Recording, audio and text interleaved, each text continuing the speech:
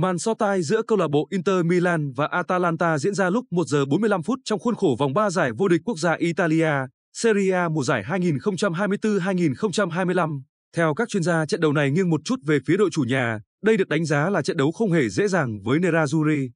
Sau khi bắt đầu hành trình bảo vệ Scudetto bằng trận hòa hai đều tại Genoa vào đầu tháng này, Inter rất mong muốn giành chiến thắng trước đội bóng đang vật lộn ở Serie A là Lecce khi hai đội gặp nhau tại Milan vào cuối tuần trước.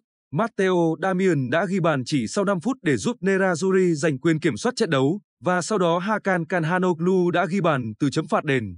Đây là quả phạt đền thành công thứ 17 liên tiếp của anh tại Serie A, giúp đội đương kim vô địch giành chọn 3 điểm.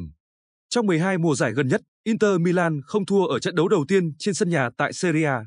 6 mùa giải gần đây họ toàn thắng. Ở vòng đấu thứ ba, đội bóng của Simon Inzaghi sẽ gặp thử thách khi phải đụng độ Atalanta. Mùa trước, Inter bất bại trong cả năm đối thủ hàng đầu để lên ngôi vô địch, vì vậy Inzaghi sẽ có ý định tiếp tục duy trì thành tích đó trong mùa giải này, bắt đầu bằng trận đấu với Atalanta. Nhận định Inter Milan với Atalanta nghiêng một chút về phía đội chủ nhà, lịch sử gần đây chắc chắn đứng về phía họ. Khi Inter dễ dàng giành chiến thắng với tỷ số 4-0 khi hai câu lạc bộ gặp nhau tại Giuseppe Meazza mùa trước. Lần gần nhất mà Inter Milan để thua Atalanta tại Serie A đã từ năm 2018. Trên thực tế, Atalanta không thắng trong 11 trận đấu đỉnh cao gần nhất với Inter, đội đội chủ nhà rõ ràng nắm ưu thế trong trận đấu tới đây.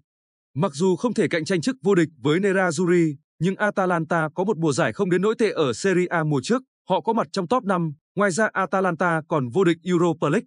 Gian Piero Gasperini, người từng có thời gian ngắn không thành công khi làm huấn luyện viên trưởng của Inter, chính là người đã dẫn dắt đội bóng đến chức vô địch Cup C2 mùa giải 2023-2024.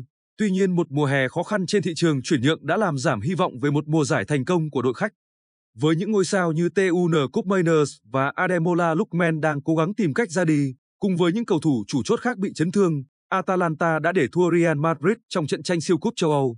Họ sau đó mở màn Serie A bằng chiến thắng với tỷ số 4-0 trước Lecce, nhưng ở vòng đấu gần nhất Atalanta để thua với tỷ số 1-2 trước Torino. Đó là trận đấu mà Matteo Ritezzi tiếp tục ghi bàn, nhưng Mario Pasalic đã bỏ lỡ quả phạt đền trong thời gian bù giờ của hiệp 2, qua đó không thể mang về trận hòa hai đều. Một lần nữa, huấn luyện viên Simon Inzaghi của Inter có thể sẽ không có sự phục vụ của đội trưởng Lautaro Martinez trong tuần này vì vấn đề về cơ. Cựu tiền đạo Porto, Medi Taremi đã ra sân trong trận đấu với Lecce và sẽ phải cạnh tranh với Marco Arnautovic để đá cặp với Marcus Thuram trên hàng công. Trong khi đó, hậu vệ người Hà Lan Stefan Zevrij đã trở lại tập luyện bình thường và có thể ngồi dự bị cùng tân binh mùa hè Piotr Zielinski, nhưng Tajon Buchanan vẫn phải ngồi ngoài vì chấn thương ở chân. Huấn luyện viên trưởng Atalanta Gian Piero Gasperini sẽ tiếp tục lấp đầy một số lỗ hổng trong đội hình của mình khi TUN Cup Miners chuẩn bị gia nhập Juventus và người hùng Europa League. Ademola Lookman cũng đang chờ đợi một vụ chuyển nhượng tiềm năng. Trước đó, El Bilan Toure đã rời đi để đến Stuttgart và thủ môn Juan Musso đã đến Atletico Madrid. Hơn nữa, Giorgio Scavini và Gianluca Scamacca đều vắng mặt dài hạn, trong khi Siad Kolasinac và Mitchell Barker sẽ không thể ra sân vào cuối tuần này.